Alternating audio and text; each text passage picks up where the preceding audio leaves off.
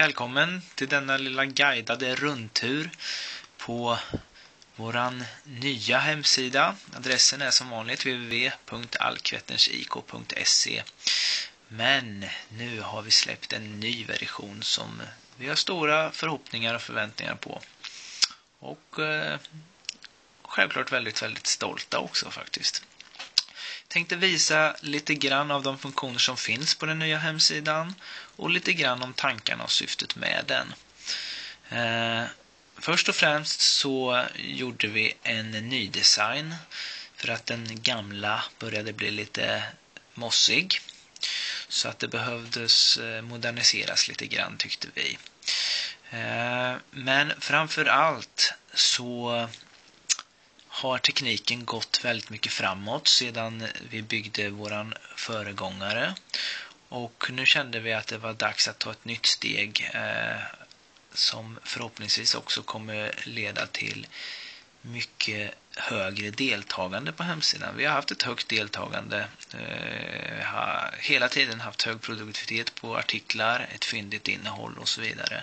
Men eh, nu vill vi ta ytterligare ett steg och och eh, bidra till att göra hemsidan till en hel kommunikationsstrategi. Och vi har tänkt till lite grann här så jag tänkte visa lite grann vi har ju då såklart eh, all nödvändig skåpmat som resultat, tabeller, eh, matchrapporter och så vidare. För att göra det extra enkelt så har vi satt en speciell meny som heter just matcher så du klickar bara in det där så får du upp information om matchrapporterna, serien, eh, kommande matcher och så vidare. Enkelt och smidigt att hitta.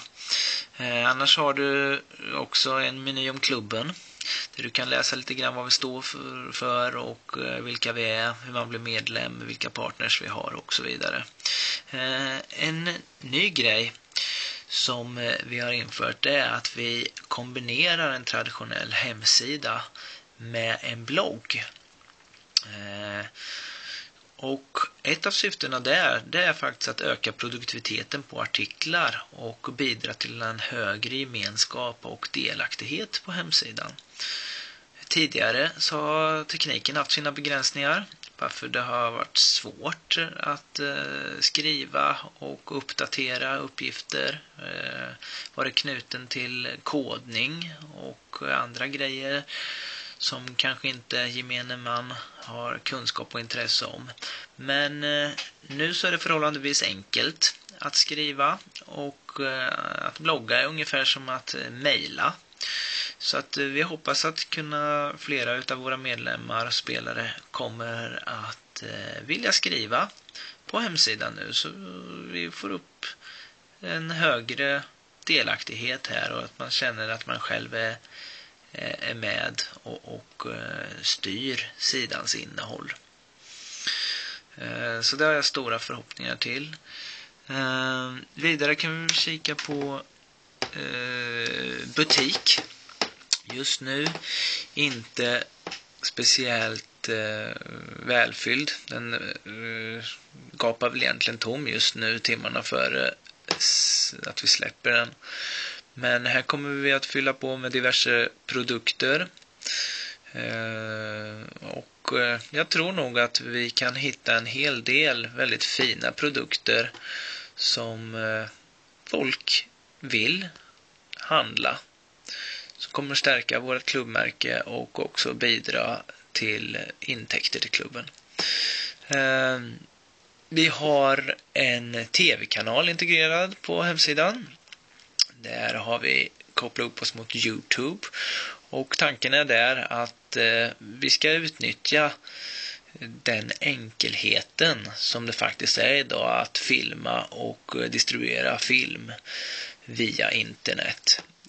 Det här är ju ett lysande exempel ehm, där jag använder min mobilkamera Eh, blir inte världens bästa kvalitet, men budskapet går fram och det är det som är det viktigaste. Man ska inte vara så rädd för att inte det ska bli helt perfekt med ljus och ljud och allt sånt där. Men kan man leverera och kommunicera på ett enkelt sätt så ska man ta tillfället i akt tycker jag. Och det här kommer vi att försöka utnyttja med den integrerade uppkopplingen mot Youtube.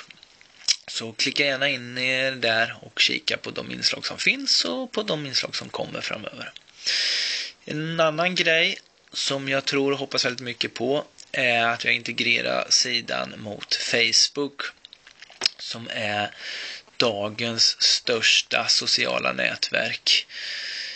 Eh, både i Sverige och utomlands eh, växer lavinartat och eh, här tror jag att vi är en föregångare om man tittar i alla fall på, på eh, idrottsvärlden och fotbollsklubbar i allmänhet så, så tror jag att vi ligger väldigt långt framme när vi tänker på hur att integrera hemsidan med en grupp på Facebook.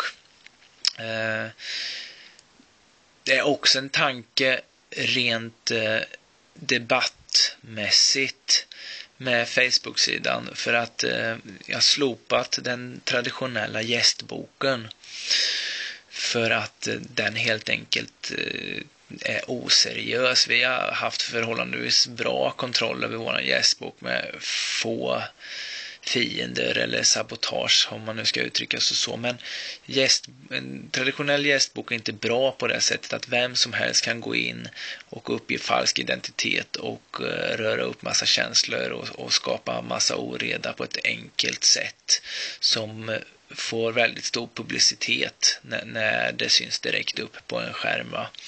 Eh, Facebook-funktionen är bra på det sättet att där måste du vara medlem och eftersom Facebook är så stort som det är så upplever jag inte det som ett hinder att bli medlem. De flesta är redan medlemmar och är du inte det så tycker jag att du ska gå in och kika på det för det är ett enkelt och, och, och, smidigt sätt att hålla kontakten med vänner. Hur som helst, där inne på Facebook-sidan finns det en gästbok så att där kan man enkelt hålla kontakten och fortsätta kommentera och prata med varandra. Eh, bilder, länkar och kontakt finns här också och eh, ja, ni får själva uppleva nöjet och de små delikatesserna som finns på sidan. Men det här var bara en liten kort introduktion. Ehm, stort nöje. Ha en bra dag. Ses vi inte på internet så hoppas jag att vi ser, ses i verkligheten på Alkvettens IP i samband med någon match eller träning eller annan aktivitet. Okej, okay. tack och hej.